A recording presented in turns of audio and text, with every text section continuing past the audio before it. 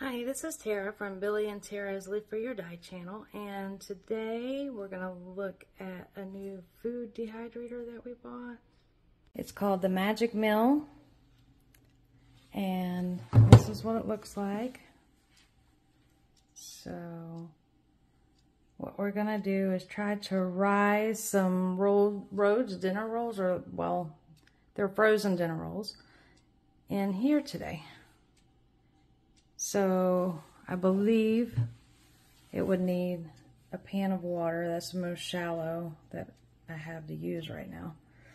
Not big enough for that, but the one we have that's bigger is too big. So then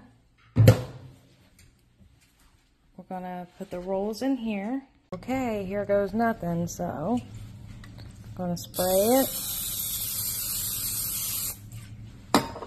And then I put two each in each one. I kind of call them butt rolls because when they rise, they look like big booties.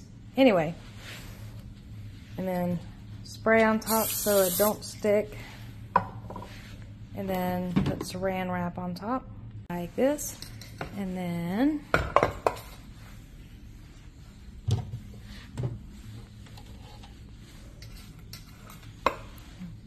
put those right on top there. Make sure nothing's gonna catch nowhere or anything.